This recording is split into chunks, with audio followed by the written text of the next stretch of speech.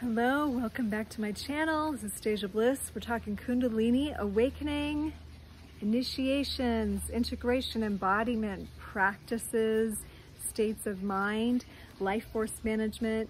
I am taking you through the tarot right now this summer.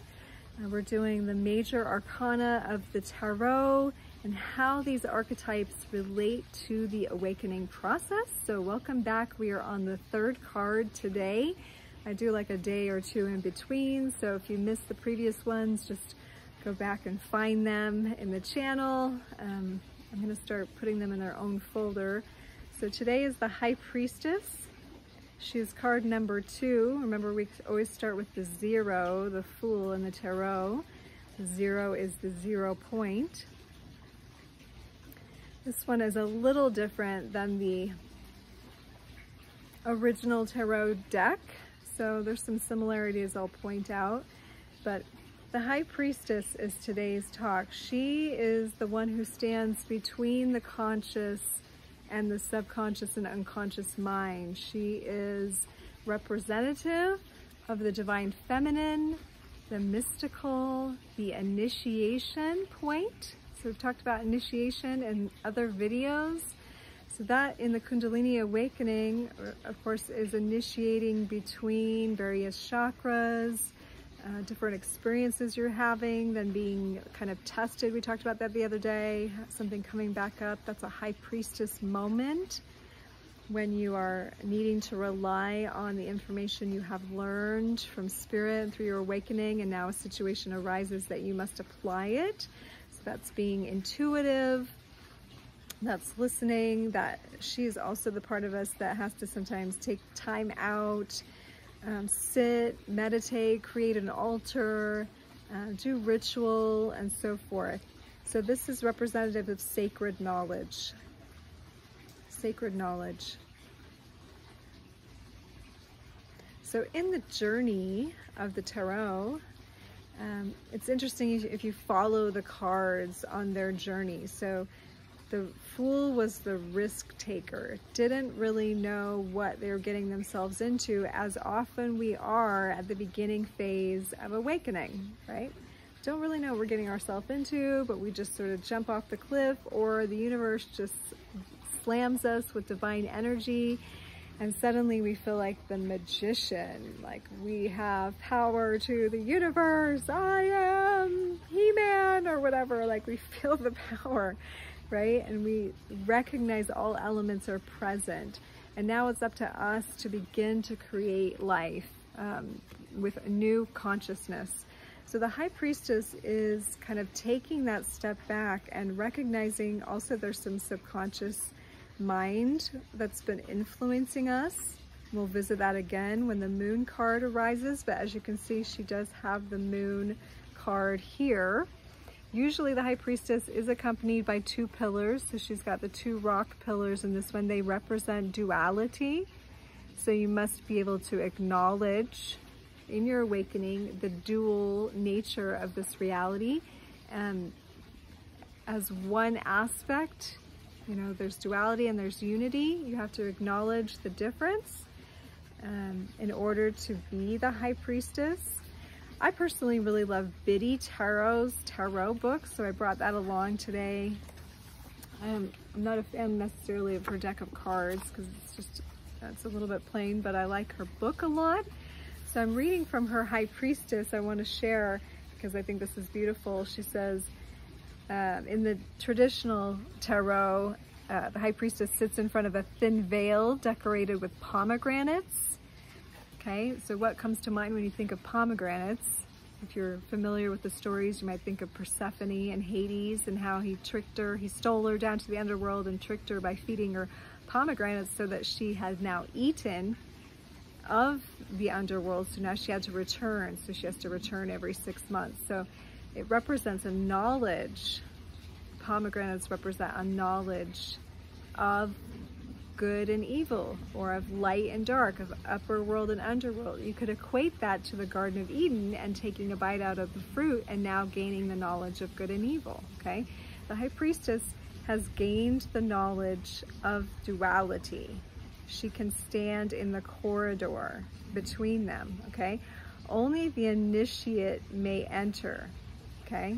It says the veil represents um, a separation between conscious and subconscious, seen and unseen, serving to keep casual onlookers out. Only the initiate may enter, okay? So a high priestess is the initiate maybe not the master, although we come back again and again to high priestess moments in our journey to initiate new knowledge. She reads in here, the high priestess wears a blue robe, and she does in this card too. Um, symbol of divine knowledge, and her status as divine ruler. She holds a scroll of the Torah, usually, uh, signifying a greater law. Um, and it says, it is partially covered, signifying the sacred knowledge is both explicit and implicit. It will only be revealed when the student is ready to look beyond the material realm. So this is a theme again and again in our awakening process. When the student is ready, the teacher appears. So uh, you can think you're ready all the while, but only when you actually are ready will information be presented to you.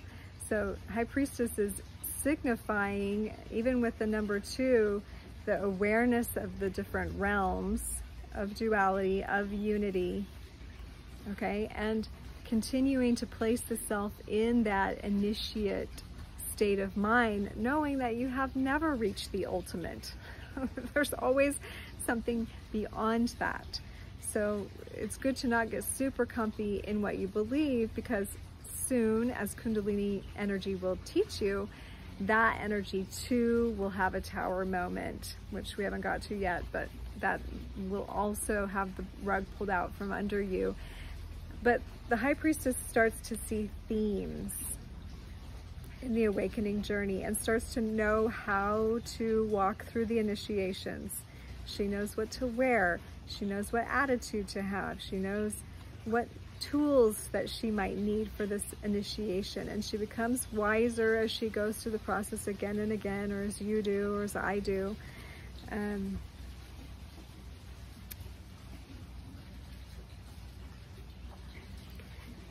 if, the high priestess is reversed, okay, if we're not listening, if we're disconnected, if we've withdrawn for too long in our awakening process. So there are initiations that require us to go within and to come away from people. We have to honor that or else we can look crazy out there, we can have negative interactions, or we can get things attached to us, but we also have to know when it's time to return. Okay, so if we're not following that and we're withdrawn, we're secluded, we're silent when we should be you know, coming forth in the world, that's also something to look at. That's a stuck life force energy. And we need to open up those channels again. So, high priestess moments in life. If you think of one, if as I'm talking you're thinking of one, maybe write it below in the comments. Are you having a high priestess moment now? Or the better question might be, where in your life are you having a high priestess moment? So let me give you an example in my life. So I've been reading cards for probably three decades. it's been something I was drawn to since the, um, the end of my teens. And um, so I was reading cards for a number of years and then I started to become aware of the runes and maybe some of you have heard me tell this story if you've watched all my videos or a lot of my videos, but I started to be called to the runes, like I could actually hear the runes calling to me. And so I was like, okay, yeah, I want to learn the runes too. So as soon as I decided and I accepted that initiation, all of my cards went silent all my cards was silent. I couldn't read them for a year, for an entire year. I could only start to learn the runes. I'm wearing a rune necklace today. This was to remind me to bring this up. These are all the runes, the Nordic runes. And I do have Nordic ancestry, so I was particularly drawn uh, to them. And I was on a trip to Ireland and I was trying to collect like rocks from Ireland to carve my own runes, but they all got taken at customs.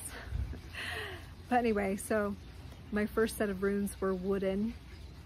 And um, I just worked with one each day and meditate on it and tried to see how it was showing up in my life. And then I would do the next one. And I found this great site runesecrets.com has some beautiful messages. And I just started using them as my main source of divination because uh, none of my cards would talk to me and it was like having a bunch of your best friends not talk to you anymore because the cards have always talked to me um, but so that entire year was a high priestess moment that entire year was a high priestess moment. So um, there can be high priestess moments that are fleeting, that are shorter, and there can be some that are longer lasting. Maybe there's a whole era of your life that is a high priestess moment. That doesn't mean you can't have other archetypes playing out too. That's how multidimensional you are. But uh, it can be something you're being initiated in. Yeah, and because it was like spiritual, matters of spirit, spiritual studies, this is a lot of what I've gone through in my life, a lot of different spiritual studies. And there was another time in my life when I was, had a high priestess moment with ayahuasca. And um, I wasn't planning on it. I had done some ayahuasca and it was fine. Some had been rather harrowing experiences and some I'd had to just help other people the whole time and really got pulled out of my journey but I was dating someone at the time, this was before my kids, um, who wanted to become an ayahuasquero and had invited this Peruvian shaman to our house where we often did have ceremony and to teach him and initiate him into this shamanic tradition. And at the last moment, literally, and I was, you know, planning to move out. We'd actually broken up at the time. And um, we were still friends, so we were kind of hanging out and taking care of some things, and I was packing some things, and he kind of chickened out at the end. He was like, I don't think I really want to do this. You know, he was emotional, and um, he didn't really want the relationship to be over.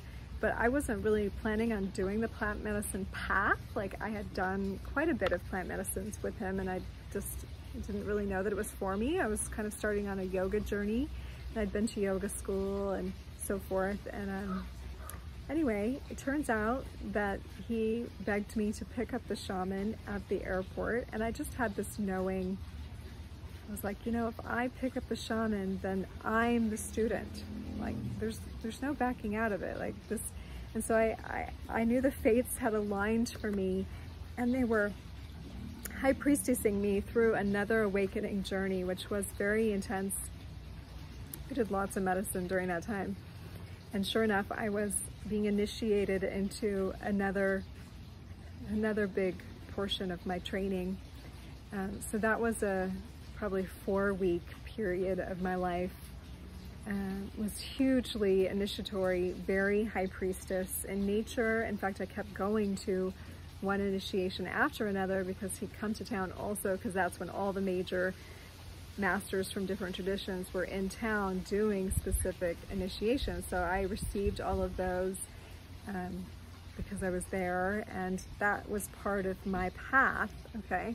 So sometimes an initiation is a funeral or as a wedding or as a birth of a baby or as a rite of passage. Sometimes they are literal, you know, initiatory acts that are from mystery schools.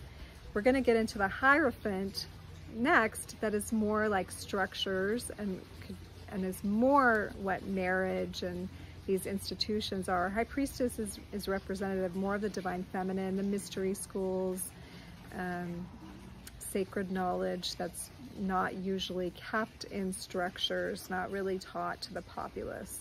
So this is also things that you learn within yourself. It could be dream time initiations that you're having also.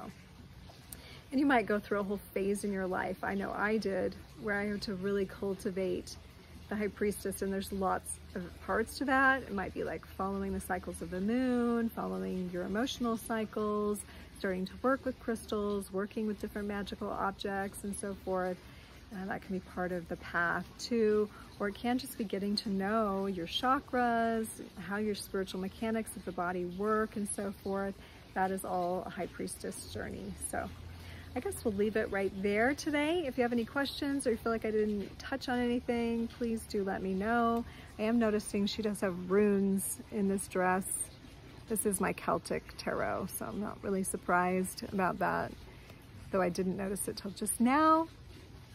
Um, yeah, so thanks for joining. If you liked this video, please like, subscribe, share, and um, hope to see you again. If you would like your own personal tarot reading or other reading, I do all readings by donation, or if you want to do some kind of empowerment session, clearing work, and so forth, ancestral healing, um, body system check-in, body code, emotion code stuff, uh, please reach out to me for that as well. I'd love to support you. Thank you so much for being here. I love you so much. I'll see you next time. Namaste.